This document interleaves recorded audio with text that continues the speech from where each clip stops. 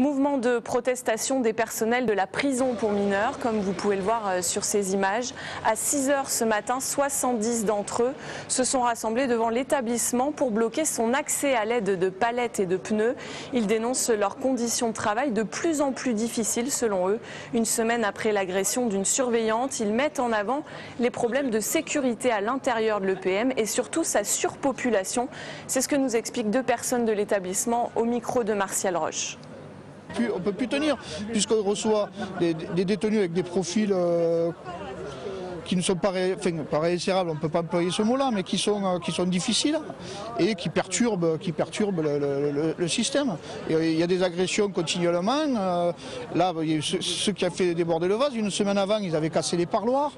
Euh, je veux dire, il y a beaucoup d'incidents, d'incidents, d'incidents qui font que ben, le personnel aura le bol et ils veulent travailler comme ça doit l'être fait. Même si c'est un endroit fermé, ce n'est pas...